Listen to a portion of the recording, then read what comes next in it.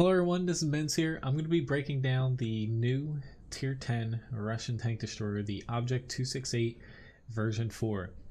Uh, now this currently hasn't come out because of the 9.22 test server, but it looks like its armor stats are now finalized. There shouldn't be any changes between now and the live server, but getting ready for this thing, it has a ton of armor on the front of it. The sides are surprisingly pretty decent as well, but the rear is pretty weak but the frontal armor and specifically um, looking here it says 260 millimeters for the listed values for the hull yeah, you're going to want to rethink that. This tank is going to have one of the best frontal armor schemes at tier 10. Pulling up um, my overlay here, which at the end of this video and in the video description, there's a full write-up um, for the weak spot guide here for the Object 268 version 4 over on my website, wotguru.com, if you want uh, still images uh, for this instead of you know watching the video here. Now, looking at, you know, we're going to start at the hull here. You'll notice that, you know, using the green, yellow, orange, and red uh, color scheme I have here, there's no green areas. So every area at the very minimal is going to be 200 millimeters effective. However, the weakest on the front is actually 237 millimeters effective. Um, the yellow 200 areas are going to be on the side. But frontally, starting at the bottom, working our way up, you have a very small uh, strip of the lower glacis here. It's 100 millimeters thick at 65 degrees, giving it 237 millimeters effective armor. So AP shells and APCR, it'll be a little bit less than that given normalization. And then heat will have to uh, punch through that. But that's the actual weakest area on this tank frontally. That very small angled bit on the bottom. And it's actually really hard to hit this area, especially if you're getting close. And if you do get close to the Object 268 version 4, you'll actually ricochet off of it uh, with AP and APCR, given that the angle will be above uh, 70 degrees. Moving a little bit further up, uh, we have what I'm going to call the front hull plate here. That's 300 millimeters thick. So that 260 listed value for the front hull armor, it's kind of misleading. Um, that's 300 millimeters at 30 degrees, giving it 346 millimeters effective armor. You're not going to punch through this unless you have a really high penetrating heat round or you're a tier 10 tank destroyer. And even then, still need some premium rounds. The upper glacis um, is 100 millimeters at 73 degrees, so you're going to ricochet off of that unless you're up close shooting down into it. Um, you know, pretty much just stay away from that because you're going to ricochet unless you're shooting heat at it, or you know you're up close and you're shooting down, and thus negating the auto bounce angle. Now, moving on the left and right here, um, before we get any further, uh, this top area uh, I'm calling the upper cheek it is pretty strong 334 millimeters effective even though it's only 100 millimeters thick. So can't really shoot there. The bottom cheek here uh, this angled bit is also even stronger 573 millimeters effective and then 331 for the inner cheek. So there's no weak spots on the hull. There's only that really small lower glacis plate if you can consider that a weak spot but if you're in a tier 8 tank tier 9 tank or if you're not throwing premium you know you're going to bounce off of that a lot especially if you're close and you know you're going to miss too because it is it's pretty tiny. Moving up to the superstructure uh, that's the actual 260 millimeter uh, thick spot basically the turret front if you want to call it that that's 339 millimeters effective, so pretty much that's a no-go unless you're throwing premium rounds at it. Um, or in a tier 10 TD, you get a high roll in your standard round. Right around the gun, uh, that's still pretty strong. Um, basically, it sits around uh, 300 millimeters effective. So good luck penetrating that, and that's a really small area. But the mantlet is pretty much immune otherwise if you're shooting straight on here and the kind of angled sections on the superstructure are immune from the front as well. The only real weak spots you have outside of the lower glacis come to the very small cupolas here. We have a commander's cupola, that's what's on the left, loader's cupola, that's on the right. I'm fairly sure it's the loader, so that's what I went with. Starting with the small loader's cupola, the center of it 250 to 259 effective armor. and then the edges 280 to over 320. So pretty much hit the center and you'll be all right. But again, you need a minimum 250 millimeters of pen to actually uh, punch through it. So it's really tough, even for like standard rounds from tier 10, like lights, mediums, heavies. You're going to bounce a good amount of the time. And if you're close, you're actually going to be shooting a little bit up at it. So it will be a little tougher to hit. The much larger cupola here, uh, take note that there's small space armor bits, uh, kind of the wings like the AMX 50 uh, Foch 155. Um, those cupolas you can't penetrate these areas and cause damage because it's just space armor. So you have to hit the center mass here. And that's 252 through 285 millimeters. And then the edges are, you know, they're kind of all over the place too. But let me uh, zoom in here if I can pull this off. And basically, uh, I'm referring to you don't want to shoot these little wings that hang over. You want to hit the center mass, particularly right in this area. That's the weakest uh, area here. If you hit lower, you're going to be hitting, you know, around the 270, 260 effective armor. And if you hit high up, it also gets a little bit tougher there as well. But basically, it gets aimed towards this center part.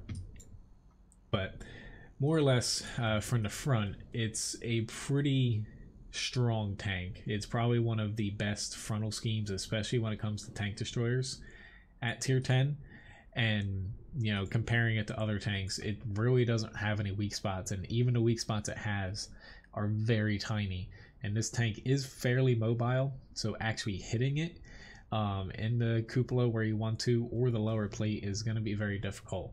So coming across, you know, this frontally, if you're in a tier 8, a tier 9, just might want to run away unless you can penetrate it with premium rounds. Um, you know, it's definitely going to be a tough nut to crack. Uh, you can kind of throw HE if you shoot down into the engine deck or if you hit it kind of near the roof. That's your best bet, but it's still going to be pretty difficult to uh, penetrate. Moving on to the side here, to swing this over and get this uh, lined up the best I can here.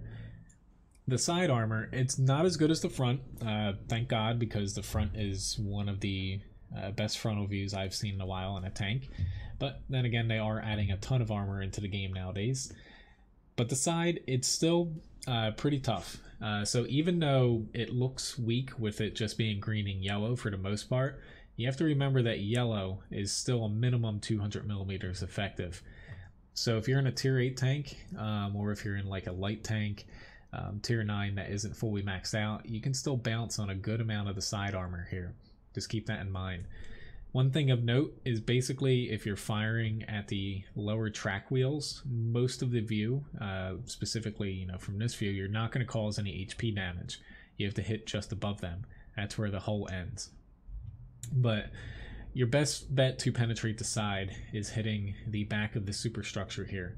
The middle and the rear sit at 65 millimeters and 105 millimeters effective from the side. If you get to the front side superstructure, that's 258 millimeters effective. And then this little uh, side of the gun area is about 250, I believe, um, if not 240. The upper side hull um, here, that angle bit that you kind of saw from the the front uh, here turns into a flat area from the side and that's 149 millimeters effective so you can easily penetrate that with the tier 8 aiming further down though uh, much like some other high tier russian tanks this looks flat. However it's 30 millimeters of space armor basically once you get below um, i'll zoom in it's a little easier to see without my overlay over it but basically it looks flat 30 millimeters. However behind that the hull was angled inwards. Um, it's 80 millimeters thick at 62 degrees so it won't auto bounce you but it does make it 200 millimeters through 215 millimeters effective. And then just beneath that but don't shoot too low you have 80 millimeters. So it is weak if you know where to hit it but do be careful if you're in a tier 8 or tier 9 because you still can get a little un- unlucky especially if you're shooting heat at the sides. I wouldn't shoot heat at this at all because this is all spaced armor. Um, you can definitely get unlucky if you don't know where to shoot specifically.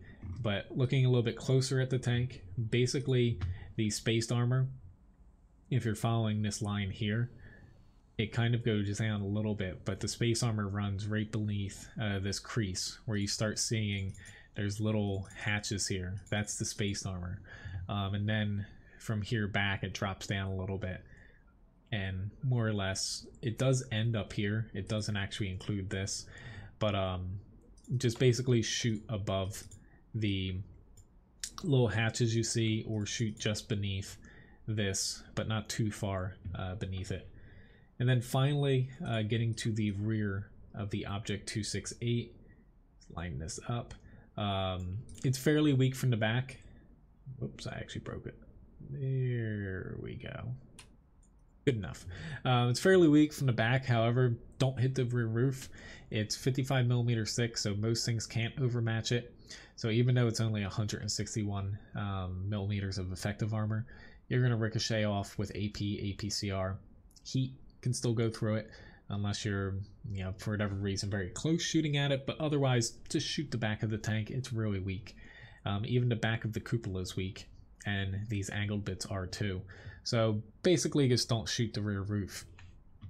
In the grand scheme of things, though, you know, the Object 268 uh, version 4 is one of the better uh, armored tanks in the game, especially frontally. It's just, it's kind of silly in a way because frontally you have the weakest area, which it looks bigger. Um, you know, kind of looking at this view, this angled part is 237 millimeters effective on level ground. But if you're basically, you know, say somewhat in a larger, taller tank than it, and this thing's coming at you, and that's the area you're aiming at, good luck because you might hit over 300 millimeters effective up here, or you just might miss.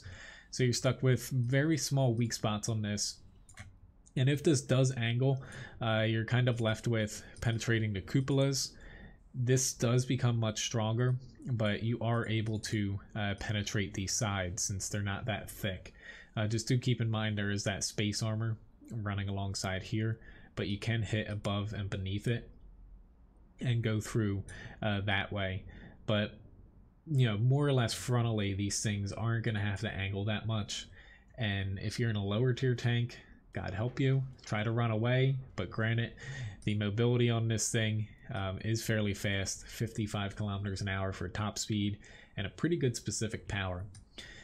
So hopefully this uh, little video helped you out. Again, once I cut out here, there's a link to the full uh, weak spot guide for this, uh, written up with images. It will help you out a little bit more with uh, specific areas. But nonetheless, hopefully, you know, coming across the Object 268 version 4 here, you'll know whether or not you can penetrate it or whether or not you should just run away or, you know, at best flank this thing since it doesn't have a turret. But nonetheless, thanks again uh, for watching the video. Have a very nice day. See you around.